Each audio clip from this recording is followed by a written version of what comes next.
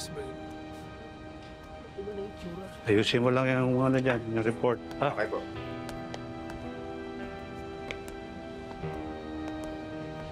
Lena.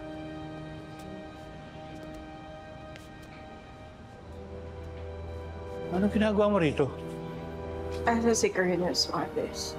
Nasa opisina niya, bakit? Kailangan ko kausapin si Colonel Suarez kasi may pagtatapat ako sa kanya. Hindi pwede, Lena. May meeting sila ni General. Tawagin mo! Lena, ano bang problema mo? Kailangan malaman ni Colonel Suarez yung tungkol sa amin ni Rigor. Lena, nakainom ka. Huwag kang mag-iskandalo rito. Halika na. Pwede Lena, pa, hindi halika ako na. alis dito. Lena, Tawagin mo si Colonel Suarez! Bilisan mo na! Lena, tama na ano ba? Tanga-tanga pa eh! Bilisan Lena, mo na! Tawagin mo na! Lena. Ano ba? Colonel! Lena, huwag kang mag-iskandalo rito. Colonel Suarez! Lena, tama na. Kailangan ko nga siyang kausapin! Tama na. Di ba? Cortez! Di ba? Kailangan ko pa kaibigan. Cortez! Anong ginagawa mo dito? Colonel, Colonel, si Rigor gusto ko pong ireklamo. Bakit? Niloko niya ako. Pinaasa. Pagkatapos sa sinaktan niya ako. Lena, Lena, tama na yan. Tama na yan. Nakainom ka lang eh. Oo! Mendoza! Pwede ba? Huwag ka na munang makialam dito. Lena, tuloy mo. Walang katotohanan yung mga pinagsasasabi niya habang pinapaimbestigahan niya siya. Hindi totoo na boulder ako sa bahay nila. Kabit ako! Kabit ako! Kabit ako ni Nicole Di Magiba! Pinakuan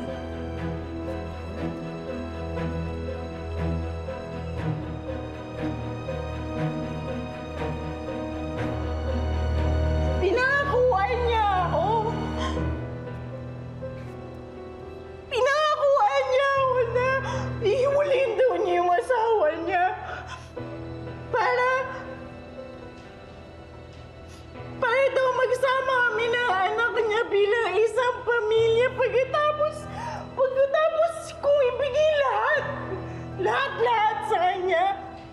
Sa dulo pala iiwan niya ako na parang basura. Pinabayaan niya ako at pinalayas. Pinalayas niya kami na anak niya.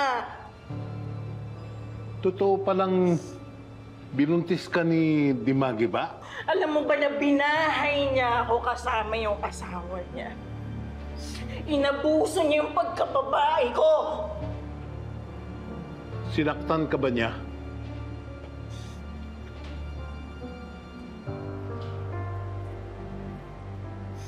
Oo. Oo. Sinasaktan niya ako gabi-gabi. Binubugbog niya ako gabi-gabi tuwing uuwi siya ng lasing galing sa trabaho niya.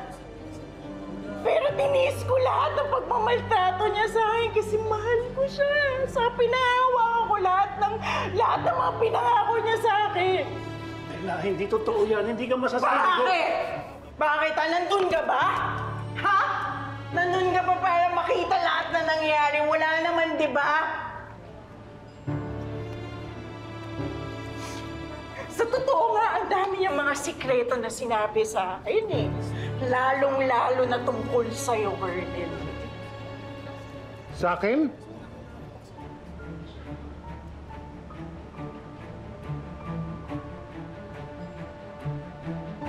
Anong pinagsasabi ni Dimagi ba tungkol sa akin?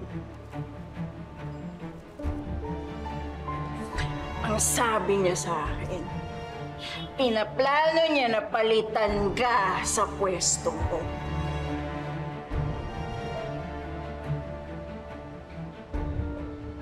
Kasi Isa ka daw patabaing pulis na kurap. Wala ka naman daw ginagawa, kundi lumamon at bumabad sa opisina na parang patabaing baboy at magpalaki ng tiyan habang kumakamal na limpak-limpak na salapi galing sa mga illegal na transaksyon. Sinabi ni Dimagi ba yun? Kaya kung ako sa'yo, Colonel, kabahan ka na.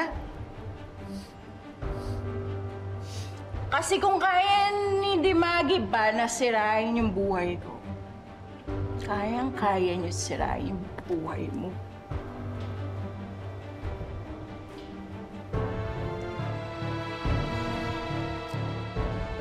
Sige na. Umuwi ka na. Saka ka na magreklamo pag ah, di ka nalasing. Halika na.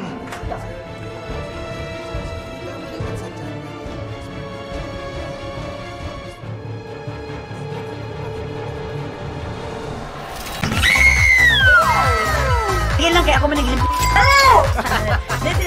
Kung tutoy.